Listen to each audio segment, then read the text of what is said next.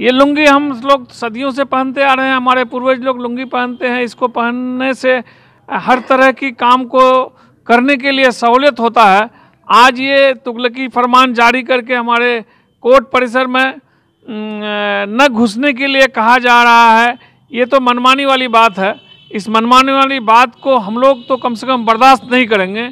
इसके लिए हम लोग को जहाँ तक लड़ाई लड़ने की ज़रूरत पड़ेगी, हम लोग वहाँ तक लड़ेंगे और अपना फरमान कोर्ट जारी उसी हिसाब से करे कि हमारे यहाँ के लोग जिस तरह से अमन चैन में भागीदारी लेते हैं, उसी हिसाब से वो हमारे ऊपर तलवार चलाए ताकि हमारी बॉडी, हमारा बदन भी बर्दाश्त करे उसका तलवार को, वरना फिर हम लोग आजिज होकर के, बाद होकर के रोड पर उतरने का काम करेंगे। और अगर हम लोग को कोर्ट परिसर में जाना, हम लोग तो कहीं बाद से उठते हैं, गाड़ी लेते हैं और कोर्ट में चले जाते हैं।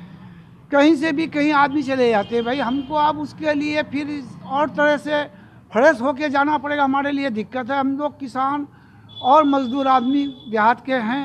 हम लोग को जैसे जहाँ से मालूम हुआ कि जाना होगा, कोर्ट आपका तारीख है या और कुछ है तो हम लोग खेत से भी उठ के चले जाते हैं। तो लुंगी पहन के हम लोग रहते हैं, लुंगी पहन के निकल जाते हैं। यहाँ के लोगों को यही कहना चाहूँगा कि इस आदेश पर ध्यान और इस आदेश को ज़्यादा तुल नहीं देते हुए बिल्कुल इसकी परवाह ना करें। और जैसे हम लोग दिनचर्या, डेली चलना, फिरना, हम लोगों का ओढ़ना, पहनना, उसको इस्तेमाल करें। लुंगी पहन कर भी हर जगह जाएँ, जहाँ जाने की आपको ज़रूरत हो, या जो भी आप अपना वेशभूषा उसका इस्तेमाल करें।